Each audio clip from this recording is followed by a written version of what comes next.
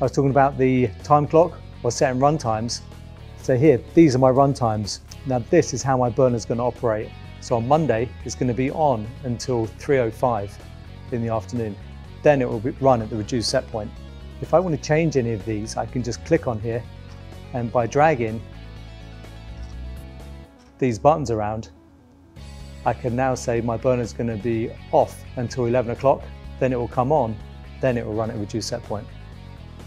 And I can drag as many of these as I wish, move them around. If I want to get rid of them, just drag them up and they go away. So now this would be off, on and reduced. So this is how we can switch between our two set points. Set, exit, and that is kept.